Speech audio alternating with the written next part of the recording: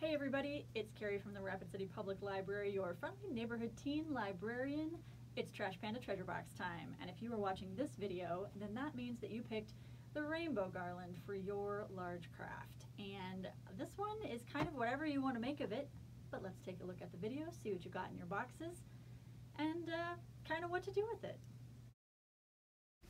What did we get in our boxes? If you picked garland, you've got some instructions. Uh, you've got some foam dots, some silver string, clouds, and those dots, glue dots.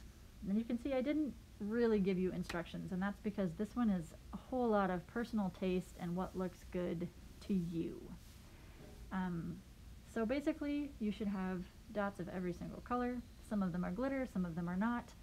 Um, and it kind of depends. Are you an orderly person who wants to go, you know, red, orange, yellow, green, blue, purple? Or do you like when the rainbow colors are all mixed up? Do you want all your glitters to go together or not? Um, and then how do you want those to go with the clouds? Um, the clouds are meant to go kind of glue them together, which is the same thing we'll do with the dots. Um, you may need to trim them down just a little bit. But do you want lots of dots and then clouds? Maybe no clouds? It's totally going to be up to you and your personal preferences.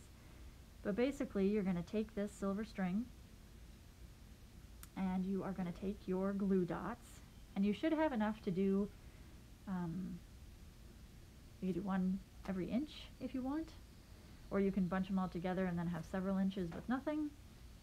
You're going to put one of the glue dots on one side of the foam and then take it off and then find out where you want it on that silver string and then you'll attach another foam dot on the other side.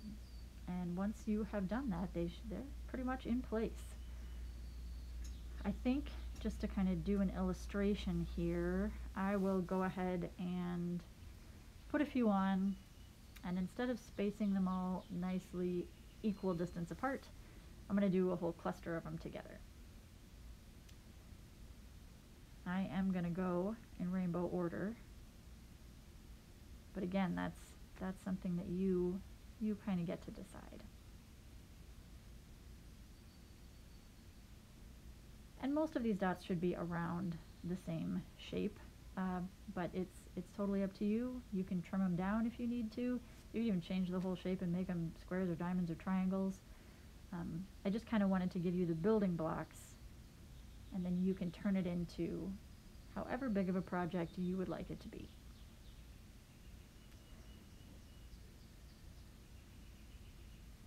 Use a glitter one here. Just like that. And then for the clouds, like I said, they're not 100% even, so you may have to trim down some of the excess if it bothers you. Again, you can change the shapes of those too. You can turn them into dots. Um, you could make them the letters of your name, kind of whatever you guys are feeling with this.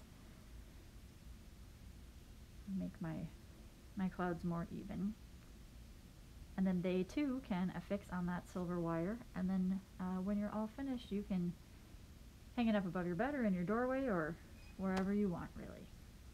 Just kind of wanted to do something really bright and springy because uh, it's that time of year. All right guys thanks for following along. I hope to see you back next month for another Trash Panda treasure subscription box. Have a good month guys